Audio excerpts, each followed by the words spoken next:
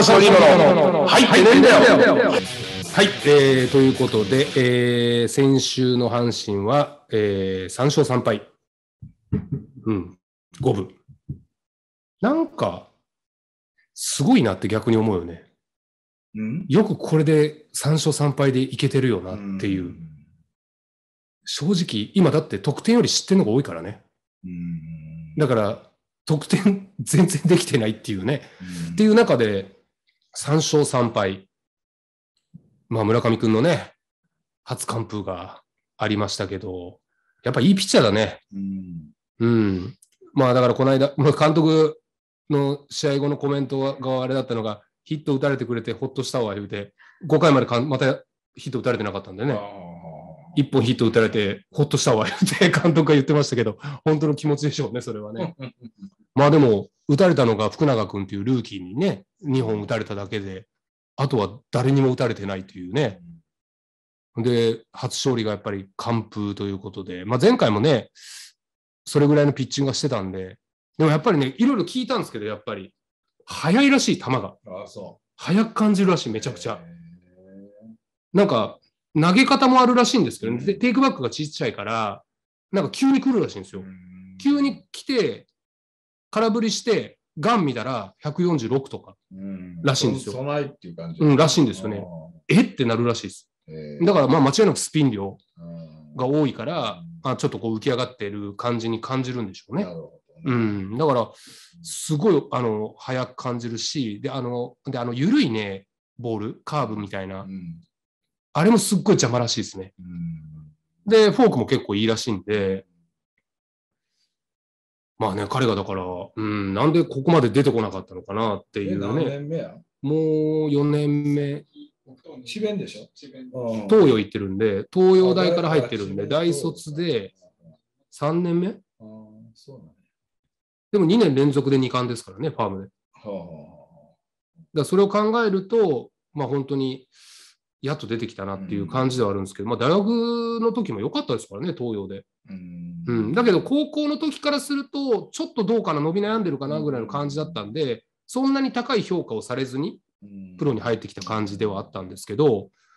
まあまあ、まあ、前も言ったと思うんですけど、やっぱりスピードがね、5キロぐらい速くなってるんですよ。うんだだからその伸びにプラスうん速くなってるんで、よりこう、そういうことか。ストレートの力がね、増してるんじゃないかなと思うんです。やっぱりでもやっぱり基本はストレートよ。ね、いや、そうそう。やっぱストレート、僕もそうでしたけど、まず基本的にはストレートを待つんですよ。で、ストレートを待って変化球に対応するっていうのが、まあ、ある程度のバッターがやってること。で、それができない人はどっちかに絞る。ストレートを狙うのか、変化球を狙うのか。だけど、要は、まっすぐを狙って変化球を待つっていう中で、まっすぐのをどれぐらいの割合で意識しなきゃいけないのかっていうので変わってくるわけですよ。だから、この、あ、このまっすぐやったら、なんとかなるなって思った時点で、変化球マークの割合って結構高くなるんですよ。だから、ごまあ、5割ぐらい頭に入れとけば、変化球も対応できるなってなったら楽じゃないですか。だけどやっぱまっすぐのいいピッチャーって、ある程度7、8割まっすぐマークしとかないと対応できなくなっちゃうんですよ。だかなるほどね。らそうするとやっぱ変化球が来た時に、あのヒットにできる確率って多分かなり下がると思うんですよね。だから球児がやっぱりすごかった時って、もうバッターはほぼほぼ100%まっすぐマークしてて、他のボールが来ちゃったらもうごめんなさい状態だったじゃないですか。だからそういう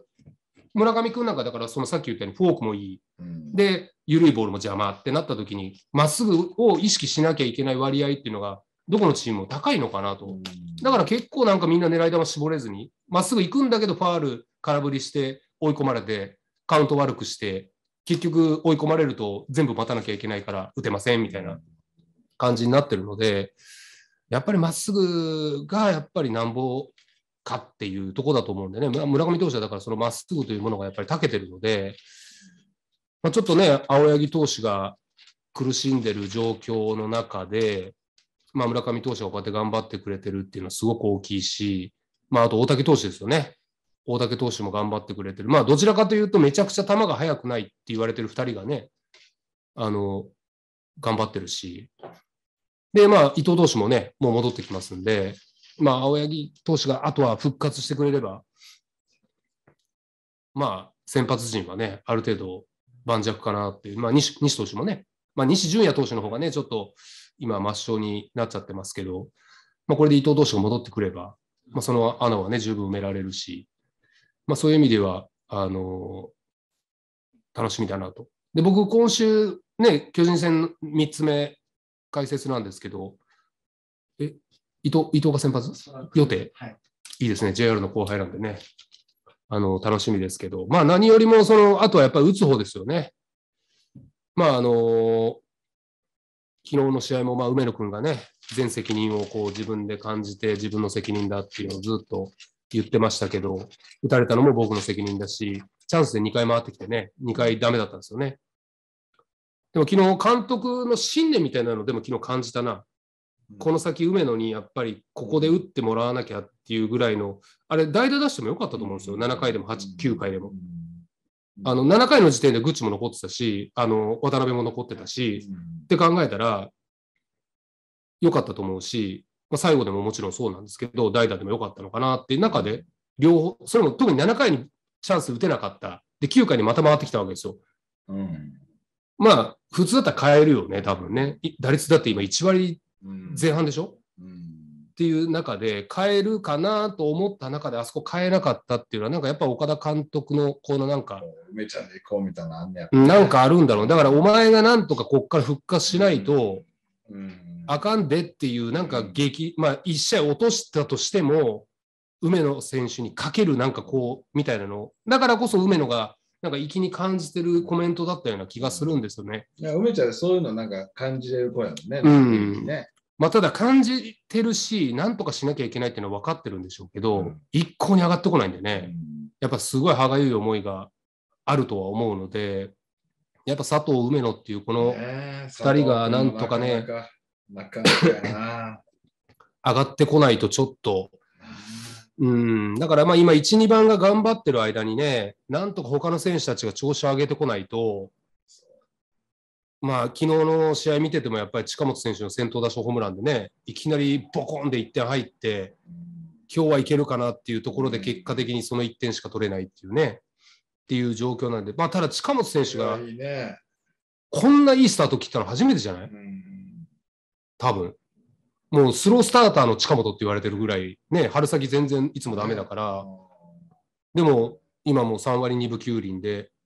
なんとね、フォアボールかこれ今セリーグで確か村上選手と並んでね、一番多いんですよね。えー14個で。だから出塁率が結構4割3分7厘にあって高いんですよ、めちゃくちゃ。だって、あの、去年のに4月 ?4 月だ、うん、4月だけの成績見ても 2, 2割3分しか打ってないし、うんだからそういう意味で言うと、もう本当にね、あのー近本選手がこう出るパターンっていうのが結構増えてるから、ただやっぱり僕一つだけね、あのー監督にしては珍しいなって前も言ったかもしれない、中野がやっぱ初回からバントするケースっていうのが結構多くて、うん。中野がギダの数が今、セ・リーグで一番多いのかな。えー。なんかもう今、点が入らないからこそ、もうこの2人で何とかするしか多分ない気がするから、うん。で、なんとか2人でチャンス作って、ノイジーで、うんノイジー大山で何とかするしか。まあまあうん、まあまあまあまあ、かな。うんだから、なんとか4番まででね、点取って、で、下位で、まあ、木浪とかがチャンスを作ってくれて、1、2番で返すみたいなパターンしか多分今、なかなか点が入らないので、5番、6番、7番ぐらいがちょっと調子がね、あまり良くないから、そう考えると、まあ、そのパターンかなって思うんですよね。ね、縦島人筋さん、なんで調子が上がらないのでしょう？うーん、分かってたらみんな簡単に打ってるはずなんですよね。うん、まあでもこれは、あのーまあ僕が思うにですけど、ここまで打てなくなる前になんとか手を打っとかなあかんと思うんですよね。その引き出しがやっぱり佐藤君に関しては全く持ってないのかなっていう感じはしますよね。いまだになんか迷ってる感がすごくあるし、まあ、もちろんまだ3年目ということを考えると、まあそんなに引き出しを持ってなくても仕方ないとは思うんですけど、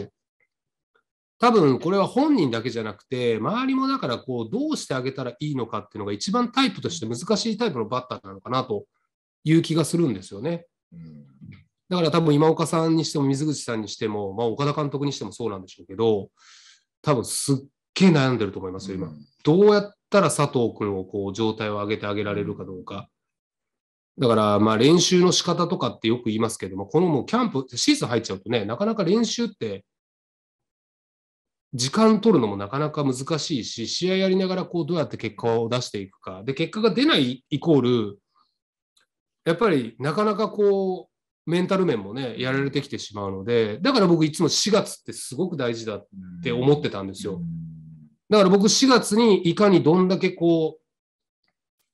状態を落とさずに、いい状態で4月を乗り越えられるかっていうのを常に僕9年間求めてやってたので、まあルーキーイヤーの時っていうのは4月はなかなかこう、スタメン出る機会っていうのは少なかったですけど、2年目以降って僕4月にまず勝負かけてたんですよ。1回。うん4月でいいスタートを切れたら、間違いなくその後、どっかで調子が落ちてきても、もう一回上げられる。でもしくは4月で調子が良ければずっとそのままいけるっていうのもあったので、やっぱスタート苦しいと、うんやっぱ後に上げていくのって大変なんですよね。だから僕多分鳥谷がね、あの、4月、彼もすごいスロースターターだったじゃないですか。あれ4月にもっといいスタート切れてたら、多分鳥谷もっと3割打ててたと思うんですよ。だから、まあでもそれでも鳥はやっぱり1年戦う体力があったから、後半必ず上げてこれるっていう力を持ってたので、まあいつも3割近くまで打率を持ってきたりとか、3割に乗せることっていうのもあったんですけど、やっぱ4月出遅れて、じゃあ例えば今から佐藤選手が、じゃあこれで3割30本打てるかって言ったら、多分もう3割は多分きついと思うんですよ。もう1ヶ月で5割ぐらい打つ隙がない限りは、多分厳しいと思うんですよね。ってなっちゃうんですよ、大体こう出遅れると。だから僕は常にだから4月っていうの勝負かけてたんで、で、チームもやっぱスタートダッシュが決まった方がいいじゃないですか。な。うん、だから僕はだからとにかく、他のメンバーがどう考えてるか知らないですけど、とにかく4月にいかに状態を上げるかっていうのを常にキャンプの時から逆算して考えてて、だから僕、月間 MVP って2回しか取ったことないですけど、2回とも4月なんですよ。なるほどはいだからもう4月にかけてたというかん、なるほどね。うんだから最初開幕した時に3連戦でヒットが出なかったりする時ってあるって言ったじゃないですか。うん僕1回もないですからね。うんうん3連戦でヒット1本も出なかったシーズンっていうの。だから、それぐらいやっぱ4月っていうのは意外と大事だよっていうとこだと思うんですよ。だからそうなると、やっぱ今の梅野選手にしても佐藤選手にしても、ちょっとこのスタート4月もうちょっとで終わっちゃいますけど、打率1割台前半とかで終わってしまうと、うん結構きついと思うんでね。うん、だからやっぱりどこ、まあね、我慢して使う、まあ本当に監督も我慢して使ってると思いますけど、どこまで我慢するかっていうところにもなってくるでしょうし、ぱりこう難しいとこではあるなというのはあるんですけど。